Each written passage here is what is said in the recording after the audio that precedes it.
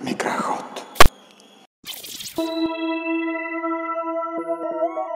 Помню утро, 97-й, за окном бомжи жарят голубя. Начал ломать голову, как бы мне не умереть от голода.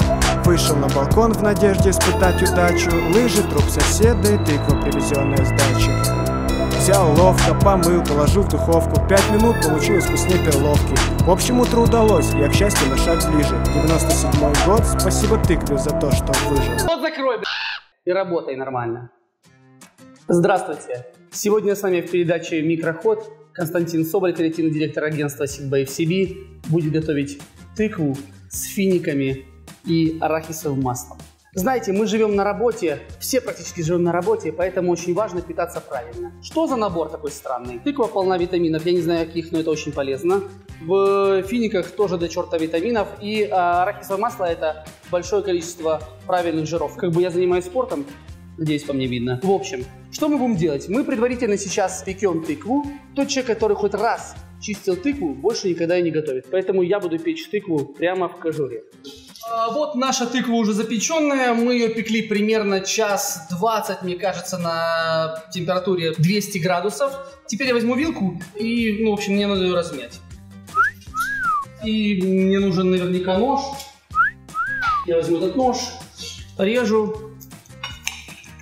Посмотрите, что происходит.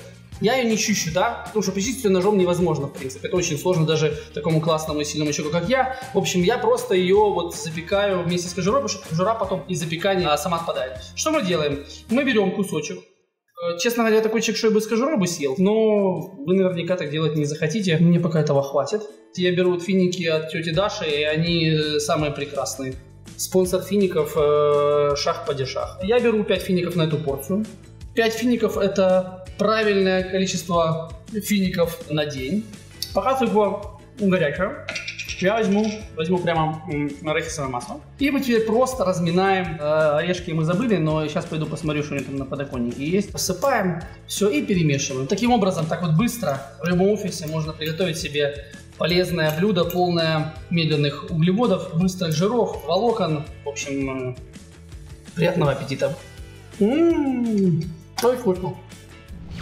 Я ем тыкву, чтобы мои волосы были блестящими и шелковистыми, а зубы белоснежными. Нет, я ем тыкву, чтобы быть сильным, красивым, успешным. Ешь тыкву, будь как Костя. М, тыква.